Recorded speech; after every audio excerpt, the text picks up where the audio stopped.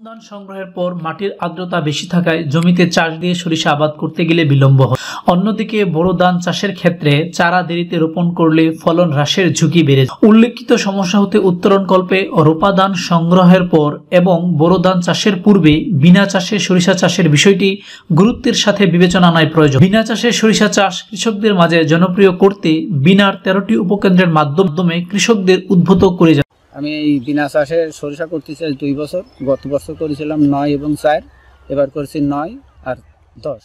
পদ্ধতিতে যে সরিষা এত সুন্দর হতে পারে, এটা মাঠে না আসলে পারে একদম বোঝা যায়। তো আমরা এই প্রযুক্তিটা কীভাবে আরও কৃষকের মাঝে ছড়িয়ে পড়ে, এজন্য কৃষি সম্প্রসারণ অধিদপ্তরের খুলনা অঞ্চলের অতিরিক্ত পরিচালক মহোদয়ের সাথে আলোচনা করে করেছেন, কোন জাত করেছেন এখানে? বিনা দশ বিনা দোষ? এতে আপনারা কেমন আশা করতেছেন? আপনার কেমন আশা করা যায়? এতে কেমন ফলন হতে পারে? দশ মন। বিঘা প্রতি দশ ষাট শতাংশ দশ মন ফলন প্রত্যাশা করে। হাজার টাকা সার প্রয়োগ করছেন। তা আপনারা যদি দশ মন ফলন পান ষাট বিঘাতে ষাট শতাংশ জমিতে দশ মন সরিষার ফলন দাম হাজার টাকা। তা আপনি খরচ করেছেন? তিন হাজার টাকা। তিন হাজার টাকা। তাহলে এখানে আর অন্যান্য খরচ কি হতে পারে? শ্রমিকের খরচ যেটা হ্যাঁ। হ্যাঁ, শ্রমিকের খরচ কিছু হবে। তারপরে এখানে বাদ বাকি সারের সার প্রয়োগ করছেন। তাতে এখানে সর্বমোট দশ হাজার টাকা খরচ হতে পারে মনে হয়?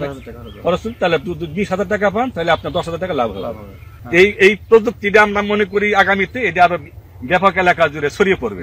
এ পদ্ধতিতে সরিষা আবাদে একর প্রতি সার প্রয়োগ রোগ ও জাপ পোকা দমনে বালাইনাশক প্রয়োগ সংগ্রহ ও মারাই বাবদ আনুমানিক তেরো হতে চোদ্দ হাজার টাকা খরচ হতে পারে একর প্রতি গড়ে বারো মন সরিষা ফলন প্রাপ্তিতে আয় হতে পারে চব্বিশ হাজার টাকা অন্য চাষ পদ্ধতিতে সরিষা চাষ করে উৎপাদন খরচ বাদে একর প্রতি প্রায় দশ হাজার টাকা পর্যন্ত লাভ করা সম্ভব এ পদ্ধতিতে সরিষা চাষে দেশের সরিষা উৎপাদন বৃদ্ধিতে উল্লেখযোগ্য অবদান রাখার পাশাপাশি দেশের ভোজ্য তেলের আমদানি নির্ভরতা কমিয়ে বিপুল পরিমাণ বৈদেশিক মুদ্রা সাশ্রয় করা।